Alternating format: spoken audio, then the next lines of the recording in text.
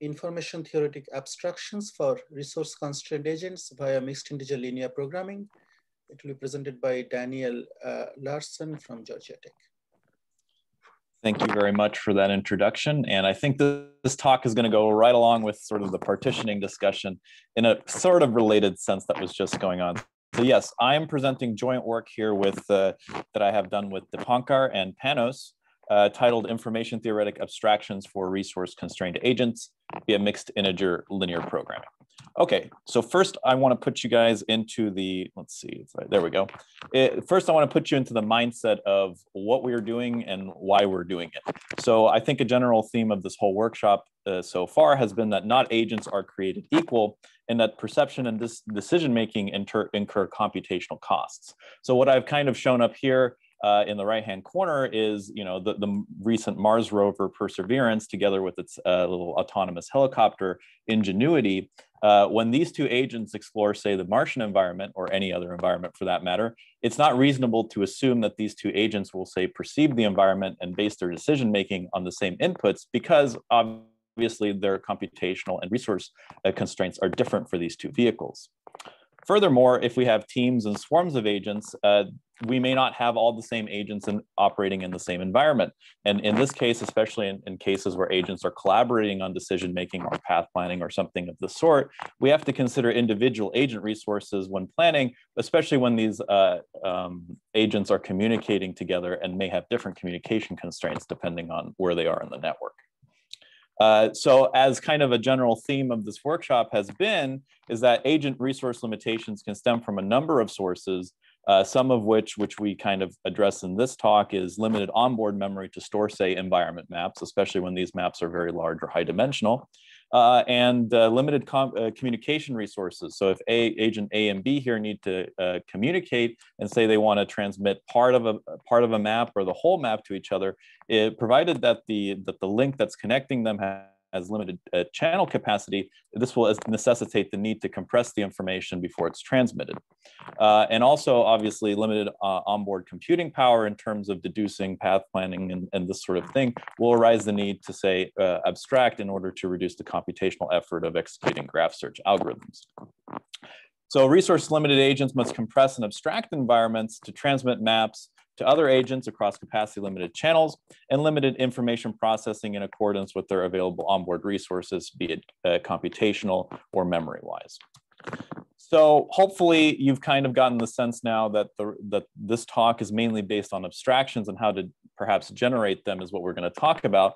But abstractions and autonomy in the general sense of are employed in order to simplify problem solving, right? And at the highest level, we can we can view generating abstractions as the process of removing irrelevant details. And the application of abstractions uh, of various forms and sorts and autonomy is quite ubiquitous. And I just list a couple of, of examples here, but you can go to the literature for many more examples.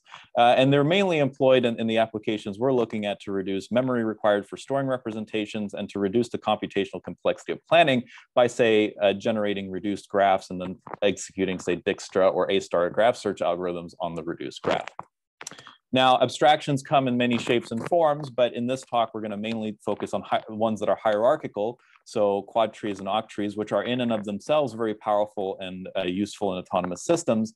And we are using them because they, they provide a good structure and they allow for multi-resolution abstractions by simple pruning. We'll get into more detail about what that means in a minute. And they can be incorporated with other very powerful frameworks, uh, such as probabilistic trees, to allow for sensor uncertainty to be incorporated directly into the framework by in conjunction, say, with uh, occupancy grids. And uh, they've been um, employed in planning in order to reduce both the onboard storage to represent environments, but also to reduce the computational requirements of finding paths. They may not be optimal, but, in, but they reduce the, the computational burden of finding them. But a, but a big drawback that we're going to address in, in this talk uh, to, to existing methods is that uh, existing methods for generating abstractions rely on user provided rules and do not incorporate information processing or communication constraints in a principled manner. What I mean by that is that the examples you see here from a small sampling of literature, although there are more examples of this, these abstractions are generated according to user provided rules of some notion of what is irrelevant and what is relevant, but there's no rigorous formulation that's incorporating, say, memory or communication constraints a priori directly in the formulation. Instead, these abstractions are generated in a known method beforehand, which is just kind of ad hoc depending on user provided rules. So what we're addressing in this paper and this talk is the development of a more rigorous specifically information theoretically motivated approach for the emergence of abstractions that are task relevant for autonomous systems. And we're going to focus on these abstractions in the form of hierarchical trees, but this is generalizable to other sort of structures as well. Okay, and the critical point here is that we want these abstractions to emerge, not to necessarily be provided beforehand. So uh, we, since we're invoking an information theoretic approach, I would just wanted to give you a little bit of a, bit of a background in terms of uh, how information theorists have classically approached the signal encoding problem, which has been studied for a long time. Uh, and uh, one of the predominant frameworks for this is called rate distortion theory, which basically finds an optimal encoding or a compression of, a, of an original signal X. Um, and uh, it does so by modeling the original signal by its statistics using probabilistic methods. And in this framework, we're just going to assume uh, that the original signal is X and the compressed representation is T, and these are random variables. And so formally, uh, the rate distortion uh, problem it considers the following minimization problem, which is the minimization of mutual information between X and its reproduction T, where the mutual information can be, can be evaluated for a given encoder based off of the statistics that are provided to the problem uh, subject to this upper bound on this what we call expected distortion. And, and this quantity is a, is a needed constraint because we could always, uh, minimizing mutual information is equivalent to maximizing compression. And of course, we could, we could obtain you know, full compression by ignoring all the details of, of the signal. So this, uh, this expected distortion we have here is essentially constraining the abstraction quality to be within some certain limit. Now, we're assuming here that the source is known and that the framework also assumes that this distortion measure, this is very crucial, is provided, and it's assumed small for good representations. And since we see here that we would like to maintain as small expected distortion as possible, we see that this distortion me measure is implicitly uh, quantifying which aspects of the original signal X are relevant in order for the distortion of the compressed representation to be as low as possible. Now, this problem is solvable via a uh, Lagrange multiplier method and invoking an algorithm called the Blahut-Arimoto algorithm. But the crucial point here is that this method for defining relevance in a signal is good and, and proven, but it's uh, defining a good distortion function is very difficult in general for a desired task. So the question then becomes, are there alternate approaches that we could say invoke in order to take a more principled approach? And the, the answer is yes, and some of you may be familiar with this, but we're going to invoke what's called the information bottleneck method. And this is what the remainder of the talk is about. And basically, this is different from rate distortion in that it directly considers the problem of encoding to preserve relevant information. And it does so by introducing a relevant variable y and, and the goal now is to explicitly maximize compression subject to a lower bound on uh, the relevant information, where the relevant information in this case is quantified by the mutual information between T and X. And the, the visual notion you should have here is that you have some original signal X, uh, which we'd like to compress, uh, but we'd like to compress it in such a way that our predictive ability regarding Y through the compressed representation T is as good as possible. And this creates a bottleneck in the sense that these two are conflicting in that we, to achieve better prediction, we achieve less compression and vice versa. So this offers a few benefits. It's completely independent of outside information, so no distortion function is required. All that I need to know is the joint distribution. So basically how the original signal and the relevant information are correlated. Um, and again, in this more general setting, uh, the problem is numerically solvable via an algorithm that's very similar to the Blahut-Arimoto algorithm, but we won't delve into those details. But one of the crucial observations here is that this does not impose the structural constraints on the encoder. So this just says any valid conditional probability distribution can serve as a valid encoder, and we could evaluate this cost function accordingly. But what we would like to do is use the IB principle here, not the IB problem necessarily, to, um, to formulate a task relevant tree abstractions or generate abstractions for autonomous systems. And to bring this into light, we'd, we'd like to do this by exploiting connection between trees and signal encoders. And uh, the observation here to bring to be able to formulate our problem accordingly is to view trees as deterministic encoders with specific structure. So what do I mean by that? So if I give you some grid say TW here. This, this is the full tree. We're going to call this the full tree corresponding to the finest resolution of say a, a toy example here is just a four by four grid. In this case, the, the original signal has outcomes X1 through X16 as follows. And we could generate an abstraction or a multi-resolution uh, pruning basically of the tree TW and call it TQ by say aggregating some of the original nodes to uh, their parent nodes. In this case, it's a four by four example, but I think you can see how this can be generalized into a much larger tree. So basically what I'm trying to say here is that by, by, by aggregating the cells in blue and green, we aggregate these to parent nodes and thereby create an abstract representation. Now the connection here to signal encoders is that you can actually view the tree TQ as being represented by an associated encoder, which is deterministic, where each entry of the encoder is either one or zero, and the encoder uh, PT given X takes the value of one if and only if uh, the, the original signal or leaf node X is aggregated to uh, the leaf node of the tree TQ. Okay, and why this is important, we're going to talk to about in a minute. But it's important to note here that not all deterministic encoders correspond to trees in the space of feasible quad trees or whatever tree representation you're using. So we must enforce constraints. But for now, we're just going to leave this. We're going to talk about that in a minute, but we're going to leave this as just TQ. So uh, as a recap of the previous slide, uh, we have basically established that each tree can be asso uh, associated with a corresponding encoder and that the connection here now between encoders and trees and the, and the resolution of the space or the representation in this case is that by changing the encoder uh, or the tree, we toggle the multi-resolution representation of the world W. So we can see here that uh, by changing the tree, we change the representation, but equivalently, this can be viewed as by changing the encoder, we change the multi-resolution representation of the world. And furthermore, that if I associate uh, with each tree uh, an encoder, a deterministic encoder, uh, t given x, pq t given x, then I can actually define a compressed random variable tq, which has the following distribution, which can then, of course, be evaluated given the marginal distribution px, but we assume we have that because we're given pxy. Uh, and so it follows that actually for each tree, you can then evaluate the information theoretic quantities as a function of the tree instead of a function of an encoder, although these two are kind of equivalent notions as we just discussed. Um, and so basically, given a tree TQ, we can now evaluate or quantify what the X and Y information of this tree is uh, by simply uh, as a function of the tree instead of uh, the traditional notions of um, mutual information of the function of the encoder.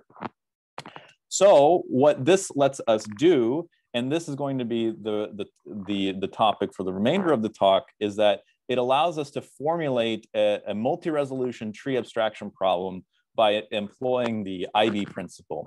And so our problem is now to solve the minimization problem of, of the X information of the tree T, so that's equivalent to maximizing compression, subject to a lower bound here on the Y information or the relevant information is greater than or equal to D hat. And now we have this added constraint that T and TQ. So this, this is something we need to talk about in a minute, how we're going to handle that. And at the moment, uh, when we first looked at this problem, it's not obvious how this can be tractably solved. The space uh, T in TQ is, is obviously quite large for, for especially large grids. But in theory, this problem could be solved by ex exhaustive enumeration. But as I just mentioned, this does not scale well to large grid sizes. So this necessitates the need to go to alternative approaches for solving this. Um, and furthermore, I think one of some of the more persistent questions we had for ourselves is how do we even mathematically represent this uh, multi-resolution tree constraint? and this is something that the IB problem does not consider and, and renders the problem non-trivial. Now, it turns out that you can actually solve this by exploiting the structure of the specific problem that we're looking at here. And to formulate what we will end up showing is uh, that this problem is solvable via a, an integer programming approach. So uh, one of the questions here that I just wanted to address is we that we left kind of hanging from earlier part of the talk is that this TQ, this constraint that the tree has to, or the encoder has to correspond to multi-resolution tree, we didn't really talk about how that can be mathematically modeled or imposed as a constraint. So the question here then becomes, how can a multi-resolution tree even be parameterized in, in this framework? And one way of looking at this is that if I give you some tree, just say this tree here, where I've aggregated some of the original cells to the, to the parent, as we had talked about uh, a few slides back, uh, one way of looking at this is uh, by looking at it in terms of the leaf nodes of the tree. And I think this is maybe quite natural because that defines directly what the multi-resolution representation is. But an alternative view of this is to look at it from the perspective of what we call interior nodes or expanded nodes. And those are the red nodes here. So uh, basically, it, these are two equivalent notions provided that you know the structure of this tree, is that if I give you the leaf node, nodes, it's equivalent to giving me the interior nodes. So if you give me the interior nodes, I can tell you the leaf nodes and vice versa. And the interior nodes are, are particularly useful because this multi-resolution tree constraint can be quite straightforwardly stated as the following condition that if a child is an interior node, then its parent must be too. So basically, if, if one of these nodes is red, then its parent must also be red. So uh, the, the key observation here, as I've kind of already hinted at, is that the, the set of interior nodes completely characterizes the tree in the same way that the leaf nodes do. And crucially then, uh, each tree can thus be, be represented essentially by, uh, by a Boolean vector, where each entry of z here is either zero or one. And the entry of z basically tells us that uh, what the expansion status of a node t is, whether or not it's in the interior node set of some tree tq, or if it's not. And uh, quite interestingly and elegantly, perhaps, this multi-resolution tree constraint can be written as this, the simple difference where for every node t, uh, the following inequality encodes the, the, the, condition that if a child node is, is an interior node, then its parent must be as well. And that's encoded by this constraint here. Now, this is nice and all. We've, we've parameterized the tree as in terms of its interior nodes, but how, what about the mutual information terms? How does this help us? And mutual information is traditionally a very expensive quantity to evaluate. Uh, so what we are going to do is we're instead going to look at the mutual information as a sum of incremental changes between trees. So uh, just, we're going to start basically at the root node of uh, the root tree or the trivial tree T0. And we're going to consider a sequence of expansions where each tree in the sequence differs by only one expansion of a leaf node from its previous tree, all the way until we get to the tree TQ. So the previous, here we have T3, that was the previous tree that we're looking at. And what we're going to do here is we're going to instead decompose the mutual information in X and the mutual information in Y, so the relevant information in the compression terms basically, as uh, a sum of differences here. So these delta Ys and delta Xs are the incremental changes between trees. Uh, and of course, this is just a, a, technique here, which is valid actually for any sort of sequence of trees, but we're going to consider this specific sequence.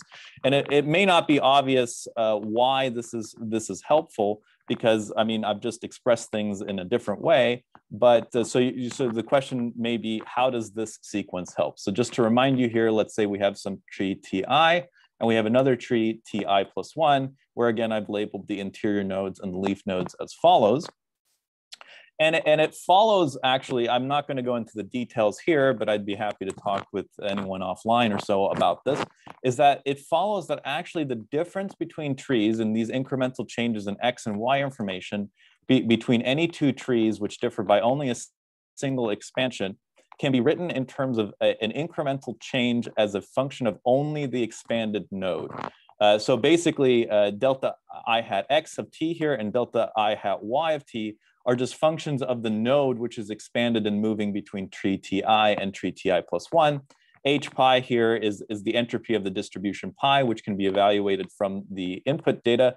And this JS divergence uh, term here can also be evaluated. It basically tells us how different the children of T are in terms of their, their ability to predict the relevant information.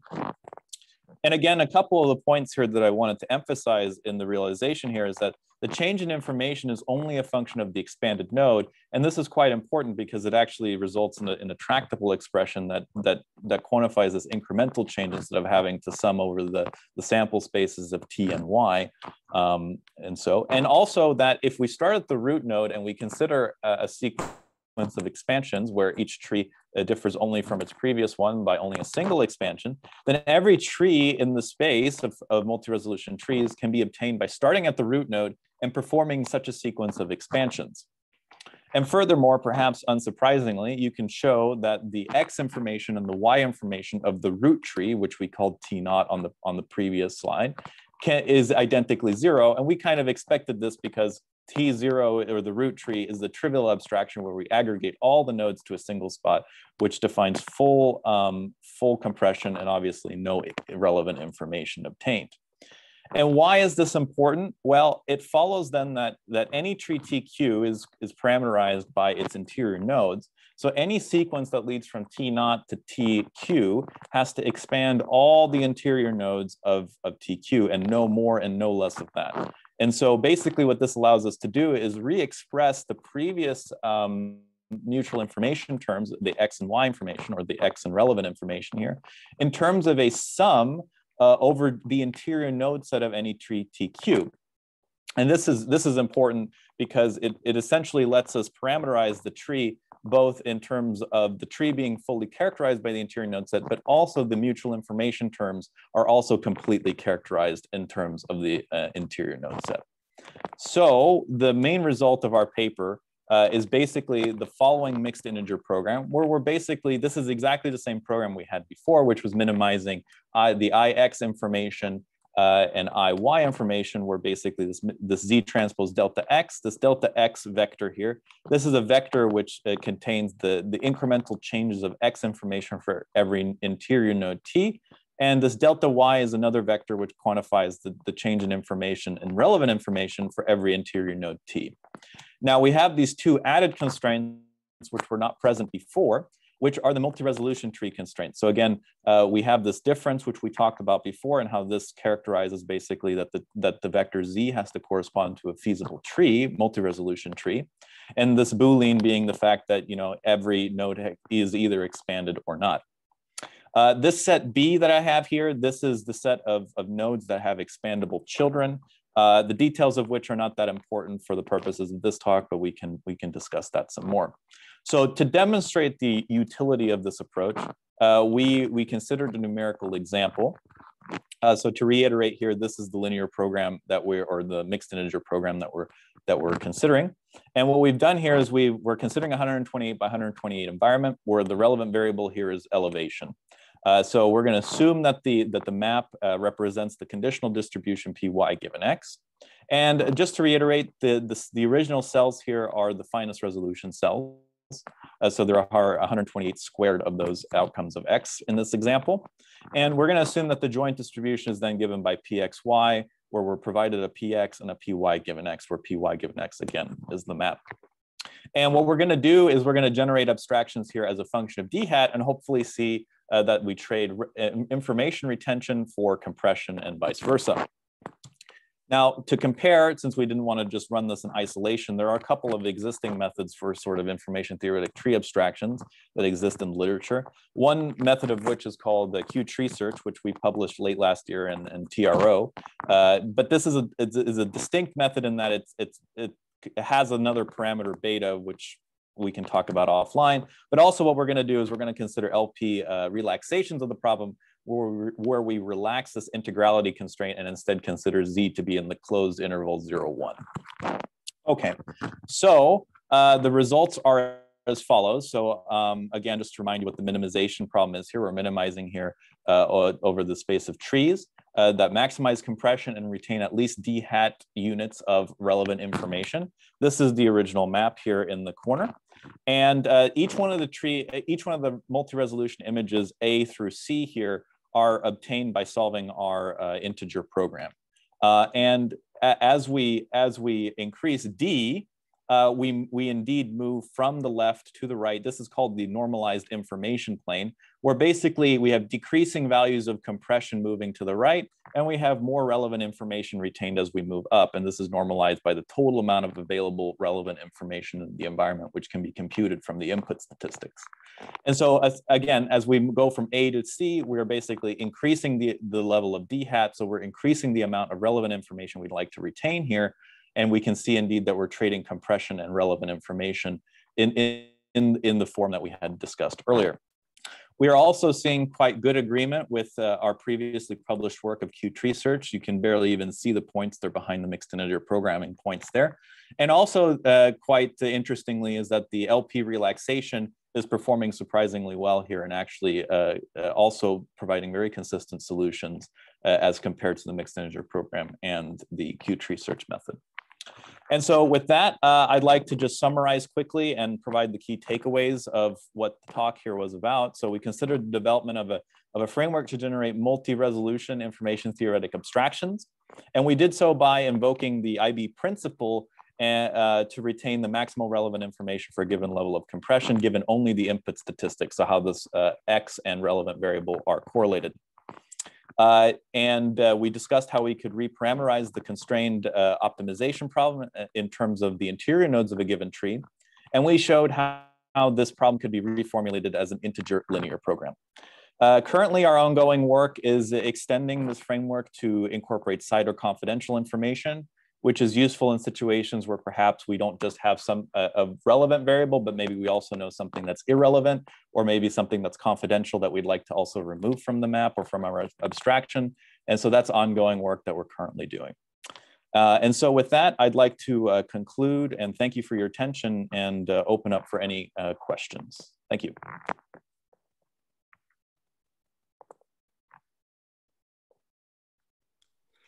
We have uh, some time for a few questions. So I have a question. Yeah. So thank you for the talk. Um, so let's say uh, I have a grid mm-hmm. and mm-hmm. uh, for each grid element, there is also, and now this goes back to the previous talk and the discussion we had. For each grid cell, I have mm-hmm. an input action.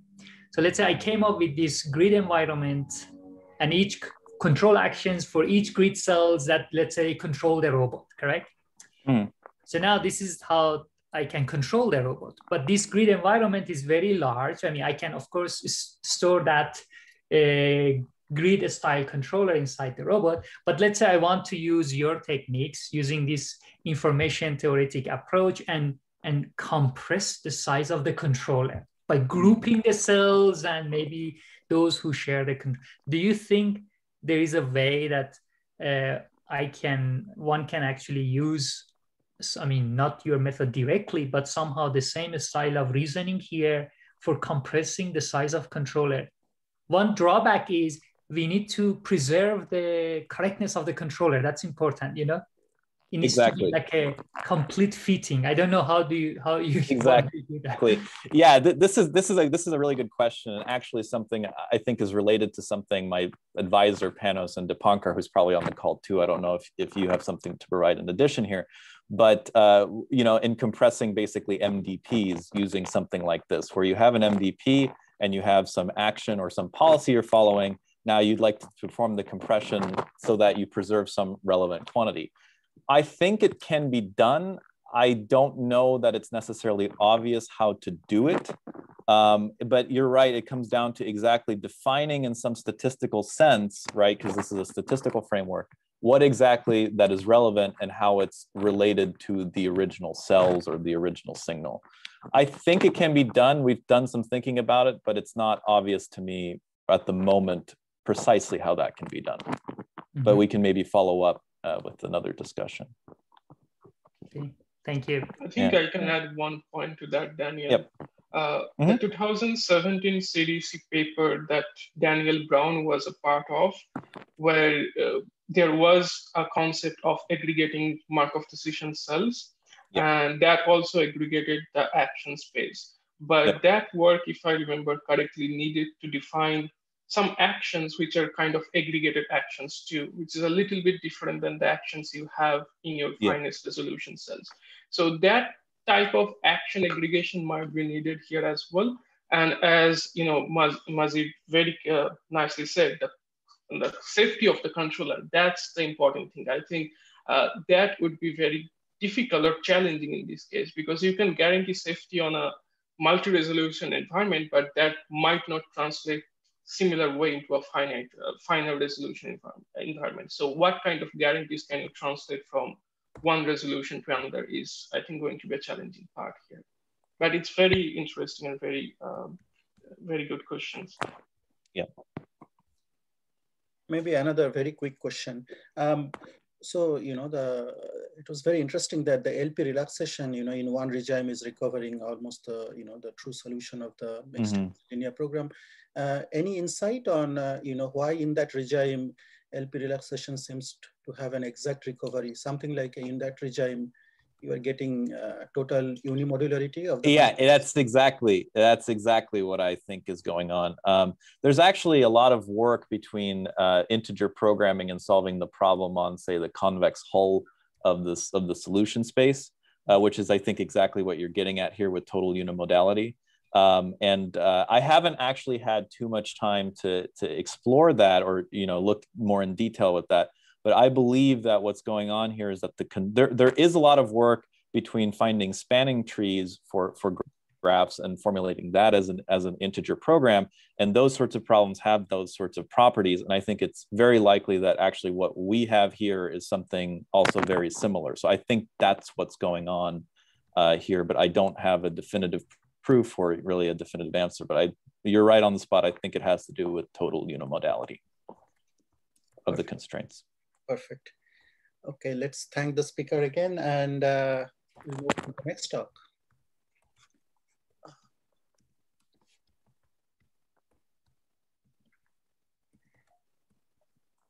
Okay, um, the next talk is on computation over distributed optimization over networks, a hybrid